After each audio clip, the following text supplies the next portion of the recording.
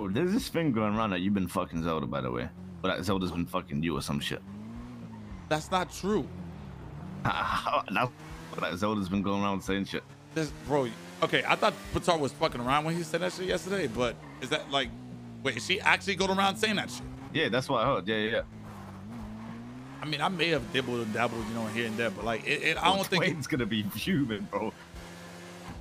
Holy shit. Um. Jesus. You're gonna get me killed on this thing, bro. Nah, you'll be fine. You'll be fine. You'll be